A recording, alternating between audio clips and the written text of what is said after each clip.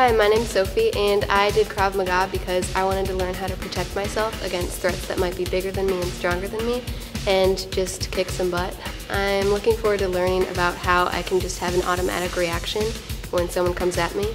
I like the gun disarm and knives and stuff because I feel like those are the most threatening. Chris is great. He really cares about his students and that they're protected and safe.